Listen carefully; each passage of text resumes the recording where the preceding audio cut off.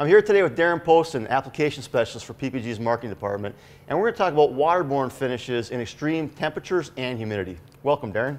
Thank you for having me. Appreciate it very much. One of the questions we get at Collision Hub is applying waterborne materials in hot and humid conditions. What tips can you offer our viewers?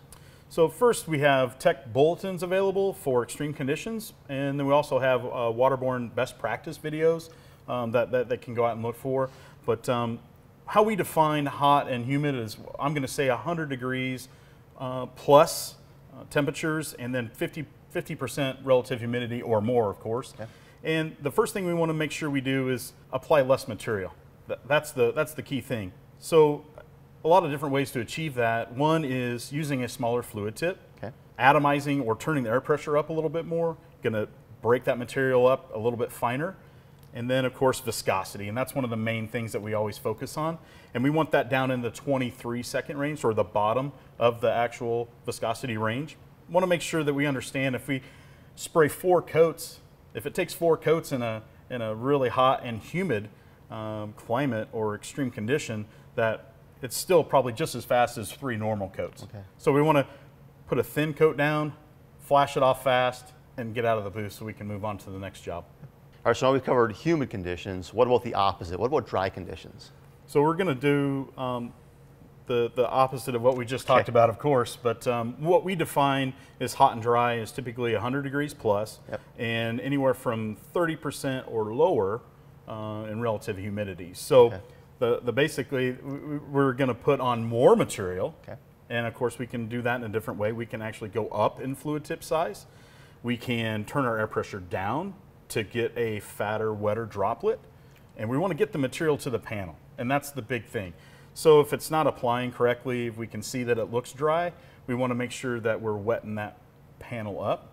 Um, and again, viscosity, we're doing opposite of what we were, we were just talked about. We're going to have that be between 25 and 28 seconds, or on the high end okay. of the viscosity range with the DIN 4 viscosity cup. And then um, very easy to uh, get out of the booth. All right, so we've covered hot and humid, we've covered hot and dry. What about something in, in between? So we're going to call that probably the sweet spot, anywhere from 80 degrees to 100 uh, temperature-wise, and then uh, 30 to 50 percent relative humidity. Uh, things are going to things are going to spray fairly normal. They're going to dry really fast. Your blends, um, control coat, everything's going to lay down really nice. So I would call that a sweet spot, and okay. they're going to be able to, to get in and out of the booth very fast okay. Uh, at those at those temperatures. Well, that's some great information. What other tips can you offer for applying waterborne materials in extreme conditions? I think one of the main things is we're very visual. So if we see something that's going down dry and it doesn't look like it's wetting up correctly, um, then we need to we need to make a change, right? So uh, very easy to do one or two things uh, to change that. You know, as far as you know, your overlap. You know, tighten that up, get a little bit more material to the panel. Um, you know, turn your air pressure down. Those are some some of the two the easiest things that you can do. Okay.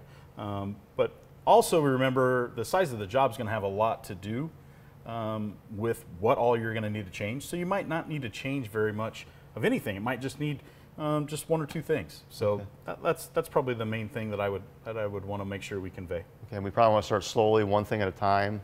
Absolutely. So don't change a bunch of stuff at, yeah. all at once, right? We want to do one thing at a time and take it really slow and figure out what works best for you as an applicator.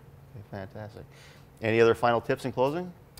Uh, yeah, so probably the big thing is whatever we change, whether it be viscosity, uh, application, or equipment, um, have a starting point or a reference point and jot that down to make sure we know where we started. So when things come back to normal, it'll be easiest for us to, to transition back to a, a normal setting. So if I want more information on PPG waterborne refinish or other materials, where can I turn?